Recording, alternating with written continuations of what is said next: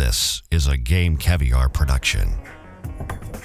All right, what's up, guys? My name is Brian Twenty. Uh, just call me B20 if you don't mind, please.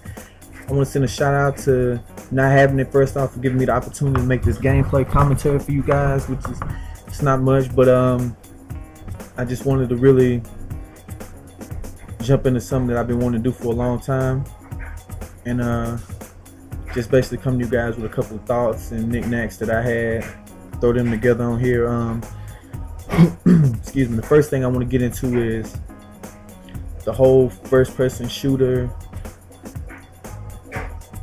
downfall and uprising. Basically, um, we all know that Modern Warfare, Modern Warfare, and Call of Duty period for the longest had everything shut down, which is just everything. I mean, it was hard for a first-person shooter to come out and top that, you know. But hands down, right now, as far as any shooter, first person that is that I see in my eyes, and these are my thoughts. I think Battlefield has the best first person shooter as far as a massive first person shooter as overall quality and looks and things you can do in the game. Not too many people, you know, well, it's a couple that just ain't with the whole reviving and you know the whole flying the helicopters and jets, which I don't see how you could not want to do that. You know, that's my thing. But um, if if you play a first person shoot, I mean, why wouldn't you want to fly a jet or fly a helicopter or beast in a tank? Freaking, you know, all of that. But as far as fast pace, I mean, Modern Warfare 3 has it hands down. It'll never be, I mean, excuse me, Call of Duty overall. It'll never be another Call of Duty. We all know this. I mean, Battlefield, they got the close quarter maps, which they help, you know what I mean, for those who just love Battlefield. It helps them, but it's just not the same. So, I mean, overall, I got to give it to Battlefield 3. And hopefully, Battlefield 4, when it drops, it really.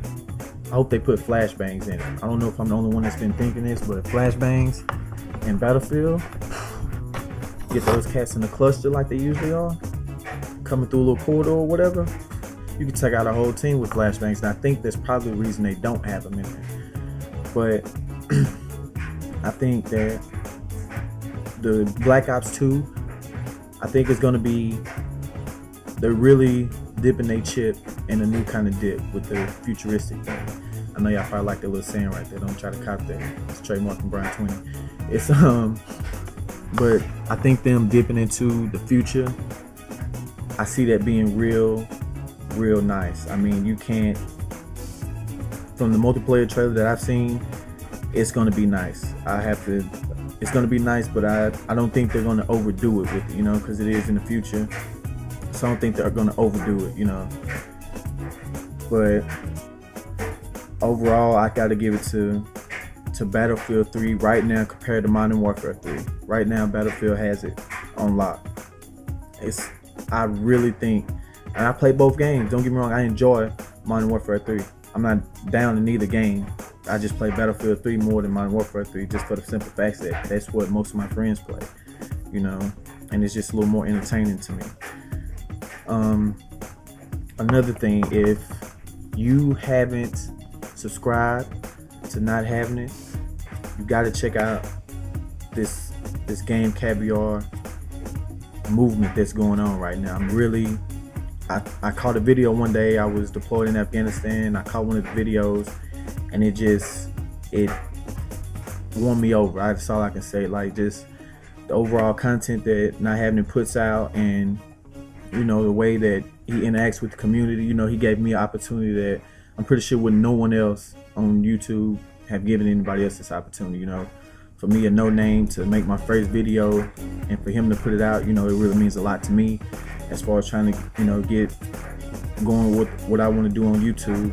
You know, I want to really become a a part of the the movement and hopefully make make a name for myself in the YouTube community.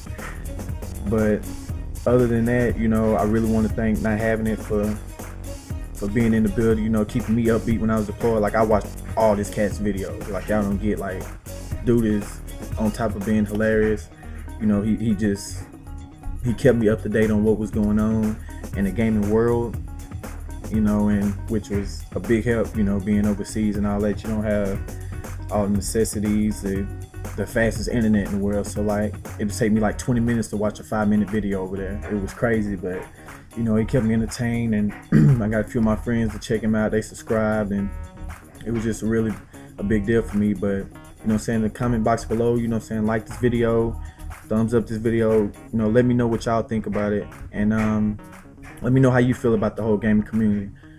Um, this is Brian Twenty in the Game Caviar Studios. You know, I'm saying another upbeat, upbeat day for me. Hope this upbeat day for you.